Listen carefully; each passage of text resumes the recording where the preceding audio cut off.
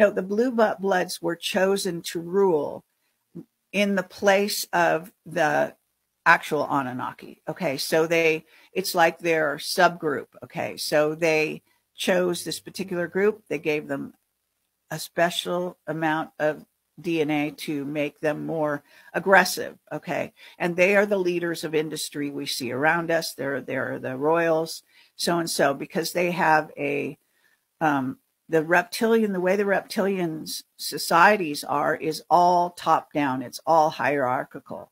Okay.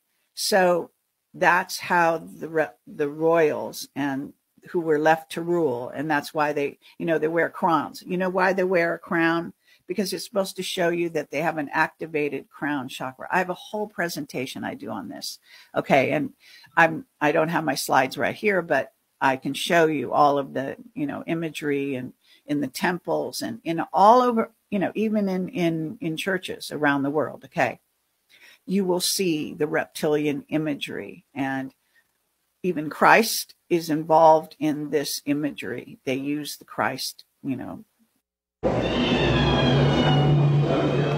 the groom is the crown prince of neighbouring Dungarpur. Father of the bride is Sundar Singh, private secretary to the Maharaja of Jodhpur.